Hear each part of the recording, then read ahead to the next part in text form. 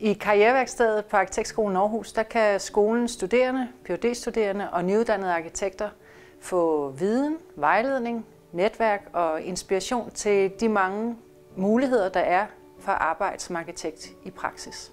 Som studerende kan man jo deltage i Karriereværkstedets øh, fælles karriereaktiviteter, der er drysset ud over semesteret, og nogle supplerer sig også med at få personlig praksis og karrierevejledning til at blive helt skarp på, hvad det er, man egentlig gerne vil ud og arbejde med som arkitekt.